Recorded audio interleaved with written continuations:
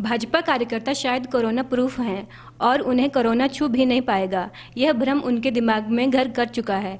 इसीलिए जब सोलन की जनता कोरोना से डरकर घरों में बैठी है, भाजपा कार्यकर्ता सोलन में टीएमसी के खिलाफ रोष रैली निकाल रहे हैं। यह रैली न केवल सोलन जिला में बल्कि हिमाचल के साथ साथ अन्य राज्यों में भी निकाली गई है।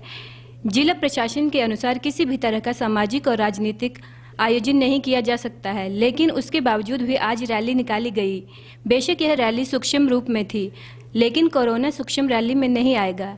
इस बात की तो कोई गारंटी नहीं है। एक और, जहाँ भाजपा के प्रदेश अध्यक्ष सुरेश कश्यप और अन्य कई बड़े नेता इस चपेट में आ चुके हैं। कई नेता और कार्यकर्ता भी नगर निगम के चुनावों के चलते कोरोना दंश झेल रहे हैं। इसलिए इस तरह के आयोजन नहीं करने चाहिए थे। जब इस बारे में भाजपा प्रदेश उपाध्यक्ष पुरुषोत्तम गुलेरिया से पूछा गया तो उन्होंने कहा कि वह बेहद सूक्ष्म रूप में कोविड नियमों के तहत रैली का आयोजन कर रहे हैं, जिसमें वह सोशल डिस्टेंसिंग के साथ उपायुक्त कार्यालय जाकर ज्ञापन सौंपेंगे। जब उनसे अनुमति के बारे में पूछा गया तो उन्होंने कहा कि इस प्रदर्शन की अनुमति उन्हें राष्ट्र स्तर पर प्राप्त हुई है। उन्होंने कहा कि भाजपा कार्यकर्ता नियमों का उल्लंघन नहीं करते हैं और न ही भविष्य में करेंगे।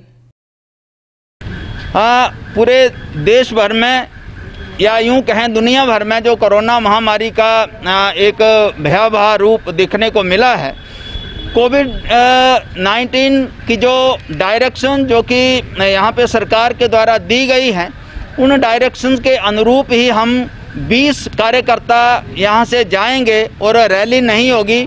हम एक मौन डिस्टेंस बनाकर मास्क लगाकर डीसी महोदय को हम ज्ञापन देने वाले हैं। कोविड के नियमों का बिल्कुल भी उल्लंघन नहीं होगा। उसकी नियमावली के अनुसार ही हम ज्ञापन देंगे। तो क्या उपायुक्त से इसकी आपने परमिशन दी है इस, इस इस इसकी परमिशन इसकी परमिशन राष्ट्रीय स्तर पर ली गई है। पूरे देश भर में जितनी भी कंस्टिट्यूंसी हैं वहाँ पर भारतीय जनता पार्टी ये ज्ञापन देने जा रही है। राष्ट्रीय स्तर पर इसकी परमिशन हुई है।